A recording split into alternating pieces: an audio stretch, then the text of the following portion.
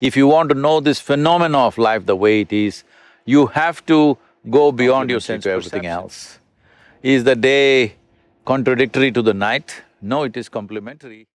Because we are fed with this kind of part information, our mind tends to think that everything is contradictory to everything else.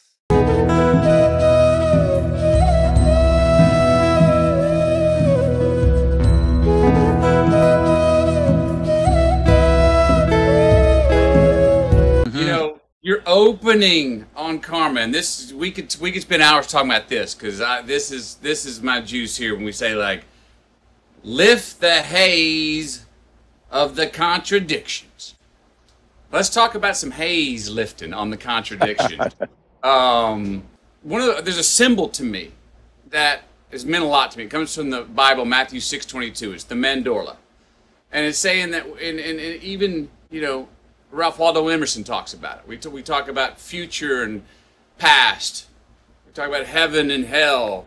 We talk about good and evil, and we see these, these contradictions that butt each other. And the mandorla covers itself and is the third eye in the middle and says that that spot is the spot of paradox. That that spot is where all the truth lies. That's where all the colors of the truth lies. It's not a, a, a, a contradictory shade of gray and compromise. It's actually where all the good stuff is. Um, paradox has been very helpful for me in understanding and having a high eye, a third eye, and not being so dualistic. Um, let's talk about that a little bit. Can you, can you, can you jump on that? Yes, uh, Matthew, the what is contradictory is essentially uh, in the psychological space of the human being. In, re in reality, existentially, nothing is contradictory, everything is complementary to everything else. Is the day contradictory to the night? No, it is complementary. If it was all day, you wouldn't know what is night, if it's all night, you wouldn't know what is day. So essentially, human perception itself, because it is through five sense organs, it can only al always perceive only a part of it. See, if I show you this part of my hand, you cannot see this part. If I see the… if you see this, you cannot see this. This is the nature of all our perception, all the five senses are able to perceive only with the context, otherwise they cannot. So because of that, because we are fed with this kind of part information, our mind tends to think that everything is contradictory to everything else. Man is contradictory to woman, night is contradictory to day, light is contradictory to darkness. No, they're all complementary to each other. It is just that because our perception is so fragmented, five sense organs are made that way, these sense organs are only good for survival process. If you want to know, they are no good. They are only good to help you to survive on this planet. That you can do by perceiving things clearly through your sense perception. If you want to know life the way it is, if you want to know this phenomena of life the way it is, you have to go beyond your sense perception.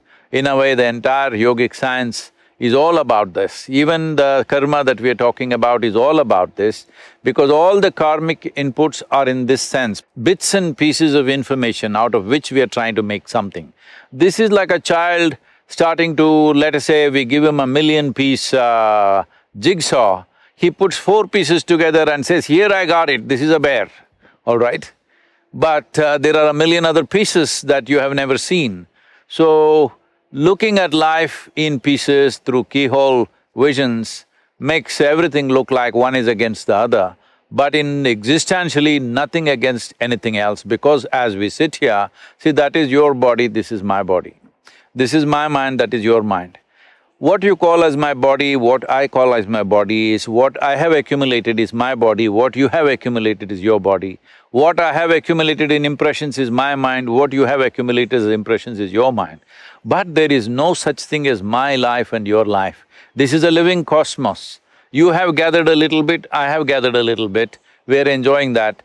The privilege of creation is, the magnanimity of creation is that Though we are really nothing in this existence, it has given us an individual experience, which is a tremendous, tremendous privilege. Unfortunately, human beings are not able to appreciate or understand this privilege. Though you are not even a speck of dust in this cosmos, you have an individual experience, you can look at it from your own uh, end, as if you are a whole universe yourself. But uh, if you take this individuality too seriously, everything will be contradictory.